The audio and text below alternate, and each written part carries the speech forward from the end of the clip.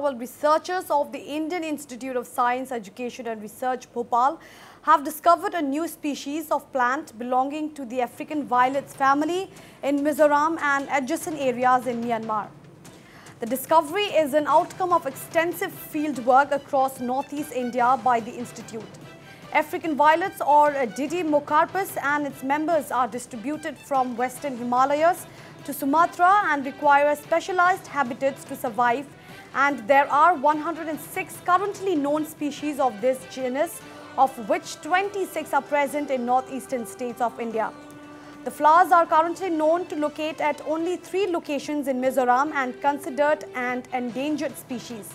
The light pink flowers only grow during monsoons and the IISER Bhopal team claims that they were studying the evolution and biogeography of the Didi Didymocarpus plants.